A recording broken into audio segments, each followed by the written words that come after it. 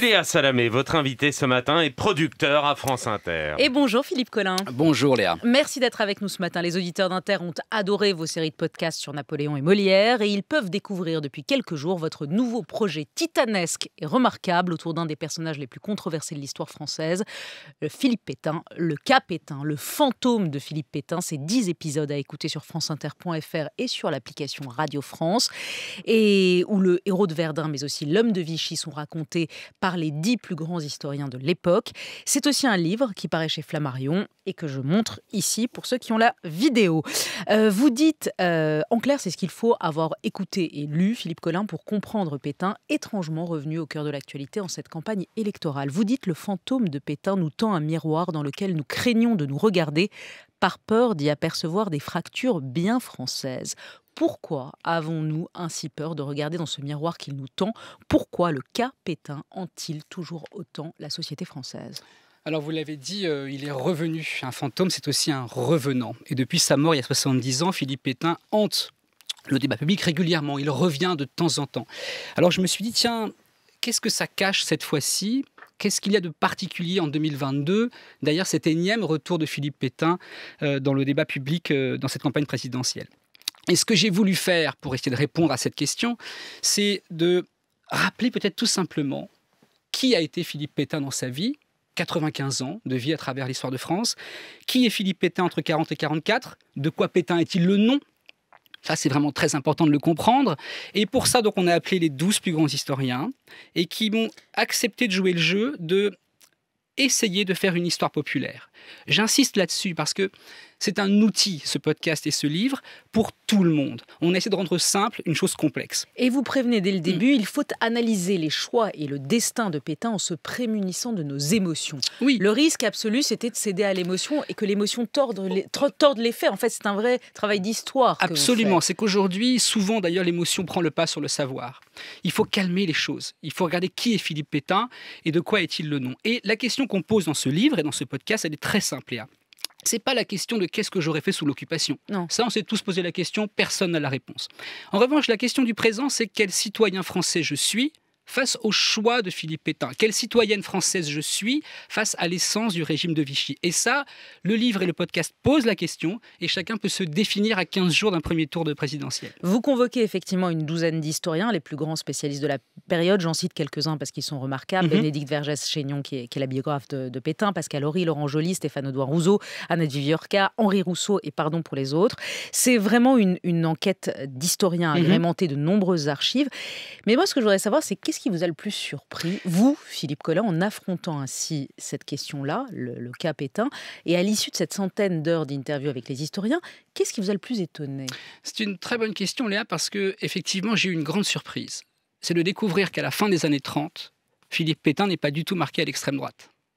On pourrait penser que, pas du tout. Philippe Pétain est un militaire de droite, réactionnaire, on va dire même nationaliste, mais il n'est pas du tout affilié à l'extrême droite. Il n'appartient pas aux ligues, il n'est pas cagoulard, il est très distant de cette euh, faction-là. Et pire, il est extrêmement bien euh, considéré par la sphère politique et par l'opinion française. Il est même considéré comme républicain, Philippe Pétain. Il est légaliste. Ce que je veux dire, c'est que personne en 37, 38, 39 40 même, ne peut imaginer que Philippe Pétain va s'emparer du pouvoir. Ce, que, ce qui signifie que Philippe Pétain avance masqué. Je ne dis pas qu'il complote contre la République, ça c'est, ce serait faux. Mais il a un agenda secret, comme on dirait aujourd'hui. Vous dites qu'il y a un agenda secret, et pourtant c'est une des lignes de clivage. Parce que s'il y a un certain nombre de consensus historiques sur, le, sur Pétain, euh, il y a quand même, mm. et on le voit dans votre podcast, des sujets où les historiens ne sont pas forcément d'accord. Un de ces sujets, c'est est-ce qu'il voulait vraiment le pouvoir en 1940 ou pas? Lui n'a cessé de dire on est venu me chercher, j'en voulais pas. Mhm. Et, les historiens ne sont pas d'accord. Ils ne sont pas d'accord. Alors effectivement, est-ce que Philippe Pétain euh, euh, a désiré le pouvoir ou pas? C'est une question qui reste en suspens. En effet, on est venu le chercher c'est Paul Reynaud, président du Conseil, qui vient chercher Philippe Pétain dans la débâcle. Hein, d'accord? Philippe Pétain n'a pas manigancé. Il n'y a pas euh, un, comment dire, une faction autour de lui qui va prendre le pouvoir. C'est un coup d'État légal, Philippe Pétain.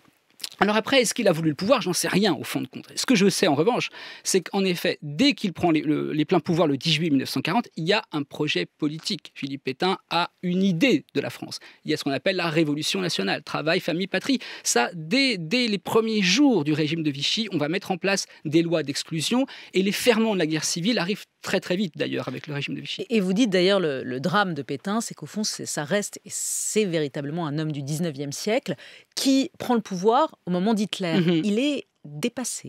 Il est, il est sans doute dépassé, mais on ne va pas lui jeter de la pierre là-dessus. Je pense que pas grand monde en 39-40 ne sait qui est véritablement Hitler. Euh, le général de Gaulle non plus, je pense. Quand il part à Londres, il va contre l'ennemi héréditaire. Il n'a pas conscience de la violence intrinsèque du nazisme. Euh, donc Philippe Pétain non plus. Il est complètement dépassé, en fait, c'est vrai, en réalité. Autre sujet où vos historiens sont partagés, la mmh. question de son antisémitisme, mmh. de la nature de son antisémitisme à Pétain. Pour sa biographe, Bénédicte Vergès-Chénion, Pétain, je cite, partage ce fond d'antisémitisme de la bourgeoisie française à l'époque, mais cela n'est pas central dans son existence. Même tonalité chez Laurent Joly qui parle d'un mélange d'inconséquences séniles et d'antisémitisme ordinaire qui permet à Laval et à Bousquet de commettre le pire. Annette Viviorca pense, elle, que c'est un antisémite convaincu, Pétain. Oui, mais il faut dire que Philippe Pétain n'a jamais pensé à exterminer les Juifs. Ça, c'est très important. C'est pas un antisémitisme exterminateur. C'est un antisémitisme banal, on va dire, bourgeois du 19e et du 20e siècle. Donc lui, ce qu'il veut, c'est marginaliser les Juifs. Il veut les sortir de la société française qui est bon français, qui est mauvais français. Donc Philippe Pétain, les Juifs sont mauvais français et deuxième zone. Exactement, c'est un antisémitisme d'apartheid. Voilà. Donc en fait, il exclut les Juifs de la société, et mais parce qu'il a fait ce choix-là, il se retrouve coincé et il va donc participer à l'extermination des Juifs d'Europe, puisque cette, cette, collaboration va entraîner euh, le fait qu'on va répondre aux exigences des Allemands. Mais en tout cas, vous dites à l'heure où certains cherchent à nouveau à faire sauter le verrou entre De Gaulle et Pétain, mm -hmm. vous montrez la responsabilité pleine et entière du régime de Vichy dans la spoliation, dans l'arrestation et dans la déportation des oui, Juifs. Absolument. On va aller plus loin, Léa, même. On a entendu ces derniers temps que Philippe Pétain aurait protégé les Juifs français. On va dire l'inverse, par les faits historiques. Entre 1940 et 1944, Philippe Pétain a harcelé les Juifs français. Premier statut, octobre 40. 1941, très important, mars, création du commissariat général aux questions juives. Qu'est-ce que c'est? Un grand, un grand ministère qui va s'occuper de spolier et d'arianiser les biens des juifs français. Vous voyez ce que je veux dire? C'est que dès le départ, le régime de Vichy a envie de marginaliser les juifs français et les juifs de France. Ça, c'est très important de le comprendre, parce que c'est fait sous aucune pression allemande. Voilà. C'est un désir il français. Fait, il le fait de lui-même. Exactement. Et d'ailleurs, donc on non, a il n'a pas protégé les juifs français. Non, on a la preuve, Léa, la preuve historique, qui est donc une archive du statut des juifs qui est durcie de la main de Philippe Pétain. La preuve est produite dans le livre, on a, on a reproduit cette, cette archive, c'est durci de la main de Philippe Pétain. Ça arrive à plus loin même que ce que les Exactement, Allemands lui demandaient. Exactement.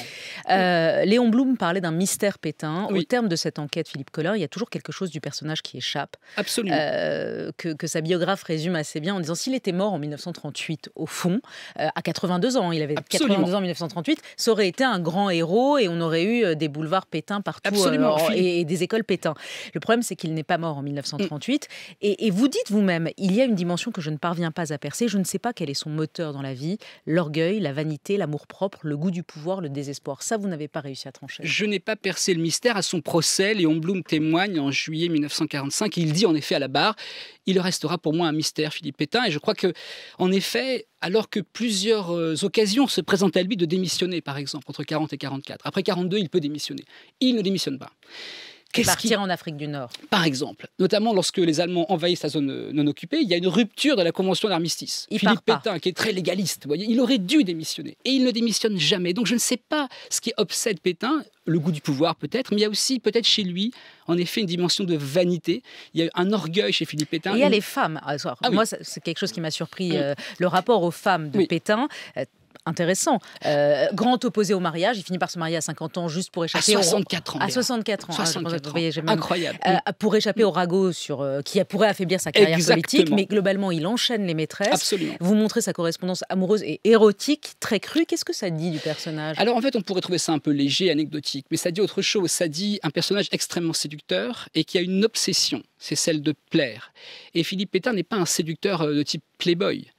Philippe Pétain laisse aussi venir à lui les femmes.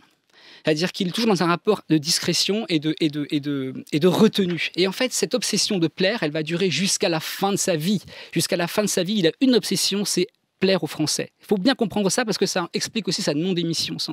Euh, pour terminer, l'historien Fa Fabrice Boutillon ose une comparaison intéressante. Oui. Il vous dit c'est un personnage shakespearien. Mm -hmm. Il y a du Hamlet euh, chez Pétain, c'est-à-dire mm -hmm. l'indécis perpétuel qui n'arrive pas à trancher. Euh, et il y a aussi du roi Lear, ce, mm -hmm. grand, ce grand roi qui finit seul sa vie, abandonné par tous, qui est aussi l'une des incarnations de la misère humaine. C'est aussi ça. Oui, c'est aussi Tartuffe de Molière, le, le faux dévot, Tartuffe l'hypocrite Tartuffe l'imposteur. Et Voilà. Henri Rousseau vous dit il restera, s'il occupe une place importante dans l'histoire de France, Pétain n'en reste pas moins un personnage médiocre. Oui, c'est un personnage, euh, un personnage euh, médiocre, euh, en effet, euh, qui a sans doute été dépassé aussi par les événements et qui a, qui a mis en place en France euh, une guerre civile, en vérité. hein. Voilà, vous l'avez compris, Le fantôme de Philippe Pétain, série de podcasts passionnante à écouter sur franceinter.fr et l'appli Radio France. C'est aussi un livre sur Flammarion et c'est aussi l'une de ces entreprises qui fait l'honneur du service public. cher Absolument, Philippe absolument. Collin. Merci à vous Absolument. Tous. Merci beaucoup. Merci, belle journée. Merci Léa, à tout à l'heure.